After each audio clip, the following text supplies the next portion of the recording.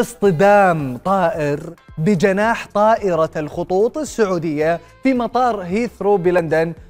والخطوط تعلق. يا ساتر كيف يعني طائر اصطدم بطائرة وشكل خطر؟